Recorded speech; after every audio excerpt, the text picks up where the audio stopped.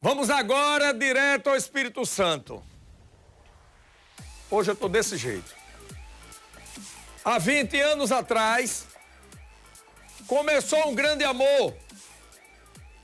A mulher da vida dele. Só que ele tirou a vida da sua esposa. Isso aconteceu há 20 anos atrás, no sertão alagoano. Só que tem o seguinte: ele fugiu e achou que ia ficar por isso mesmo.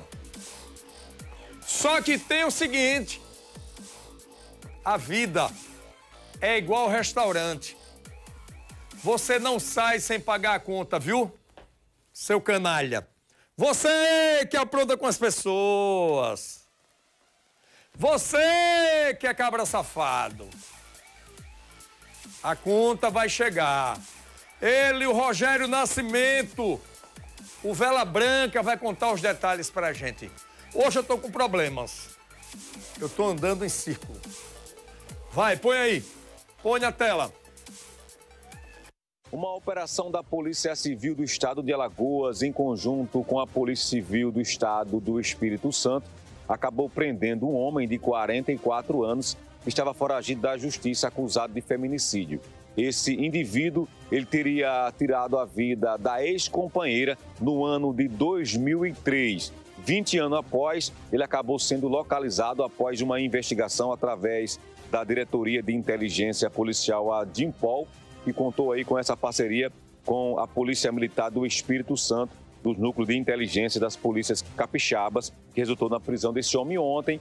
De acordo ainda com a Polícia Civil, ele foi localizado e preso na cidade de Nova Venécia, Espírito Santo, em cumprimento a mandado expedido pela vara de único ofício de Major Isidoro. De acordo com a Polícia Civil, o indivíduo teria assassinado a esposa no ano de 2003, 20 anos atrás. Ele não aceitava o fim do relacionamento. Ainda de acordo com os informes da Polícia Civil, o crime aconteceu no centro daquela cidade, no sertão de Alagoas, onde esse homem utilizou-se de uma faca, ou seja, matou a ex-companheira facada. O crime teria sido praticado por ciúmes, uma vez que ele não se conformava com o término do relacionamento. O homem foi levado para a delegacia de Venécia, Espírito Santo, onde passará por audiência e custódia e ficará à disposição da Justiça. Ou seja, após 20 anos de busca, a inteligência da Polícia Civil de Alagoas, junto com a inteligência da Polícia Militar do Espírito Santo, acabou tirando de circulação esse indivíduo que, enfim,